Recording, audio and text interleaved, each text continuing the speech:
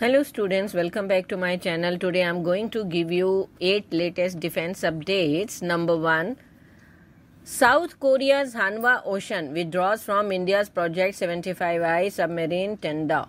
In a surprising turn of events, South Korea's Hanwha Ocean company has officially withdrawn from India's high stakes tender for Project 75I, dealing a significant twist to the competition for the acquisition of sixth six next generation diesel electric submarines. The withdrawal of Hanwha underscores the dynamic nature of defense procurement processes and sets the stage for a fierce two way competition between German uh, company and Spanish company Navantia. Next. BHEL seeks technology tie-up for 155 mm 52 caliber mounted gun system.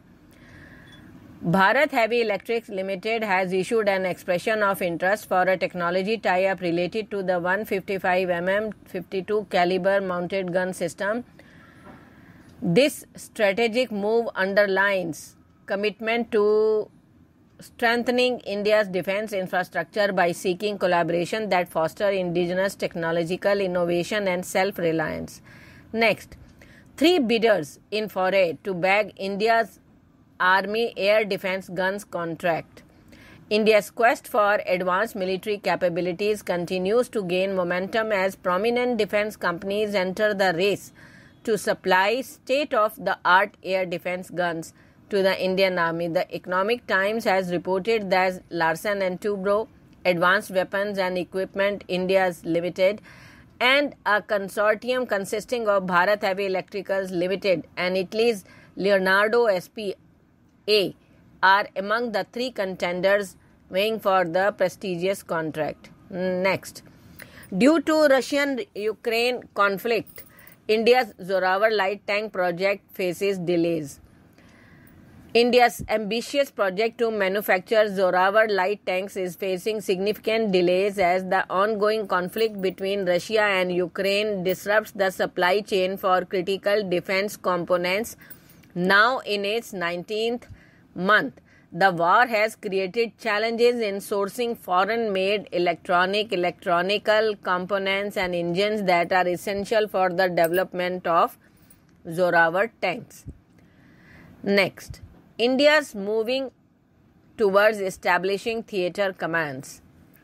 India's journey towards establishing theatre commands for its armed forces has unveiled a complex web of options and challenges, uh, prompting a profound revolution of existing military structure and the role of key leadership positions as the nation strides towards modernizing its defense apparatus, defining the hierarchy, rank, and the operational control of the forthcoming theatre commands has emerged as a pivotal issue, stirring debates within the corridors of power and strategic circles. Next. President Murmu to launch frigate Vidya, Vindhyagiri in Kolkata on August 17.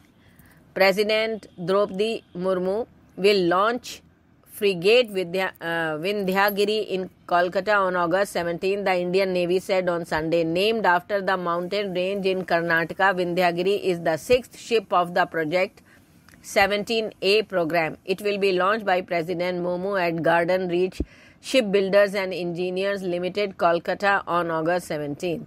Next. Russia loads up on Russian dirty fuel with crude supply cuts. India is poised to buy the most amount of dirty fuels from Russia in years as a slump in crude flows from the key producers and looming refinery maintenance threatens supplies. August imports of sludgy products from Russia should double from last month to about 2,69,000 barrels a day. Initial data compiled by Bloomberg from an analytic firm Kpler show that would be the most since at least early 2017. Next, 14th August to be observed as Black Day in Pakistan occupied Kashmir. on the occasion of the 76th anniversary of the creation of Pakistan, which is being observed on August 14. Political repression is on the rise in Pakistan occupied Kashmir. Several political activists were arrested in Muzaffarabad, the capital city of POK, on August 11 for sharing anti Pakistan posts on social media. They were beaten at the local police station and forced to condemn their actions and repost pro Pakistan statements on official media. Thank you.